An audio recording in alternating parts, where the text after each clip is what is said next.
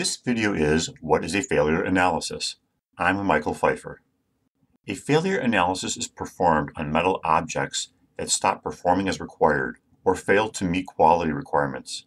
The objects include metal stock used to fabricate a component, such as coil, rod, tube, or wire, metal components, and welds, brazes, or solder joints between components. Examples of items that fail include metal stock, components, joints between components, and devices. When a device fails, part of the failure analysis process is to identify the component or joint that failed and then do a failure analysis on that component or joint. When an item fails during use, it does so because it has degraded to the point that it cannot perform as required. The degradation is a result of exposure to various stressors.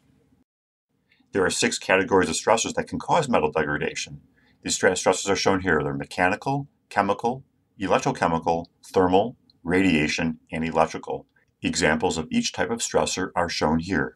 When a component or joint between component fails during use, it's because the stressor has caused degradation of the material to the point to where the component or joint can no longer perform as required.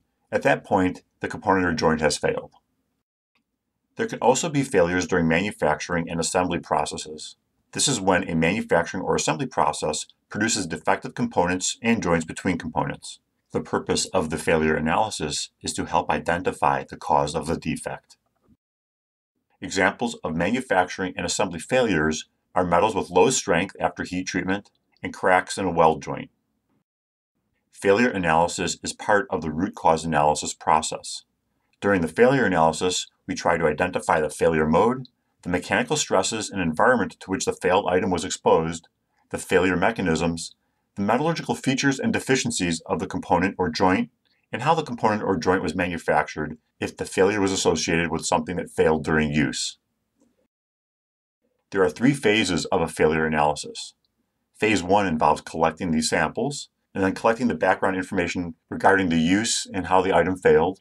Phase 2 involves the metallurgical examination to determine the failure mode and mechanism and the metallurgical features of the component or joint. Phase 3 is to analyze the data and, if necessary, write a report. A little about me.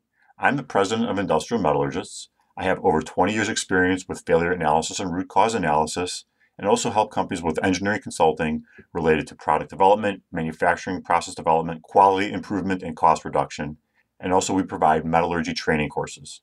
Finally, I wrote a book, Materials Enabled Designs, the materials engineering perspective to product design and manufacturing. Let me know if you have any questions. You can find my email and phone number on the bottom of each page of this video. Thanks.